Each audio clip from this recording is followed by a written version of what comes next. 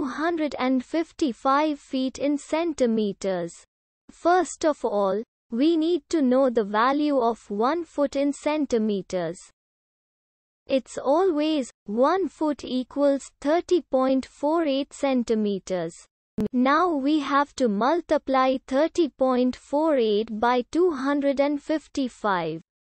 Therefore, 255 feet times 30.48 centimeters equals 7772.4 centimeters.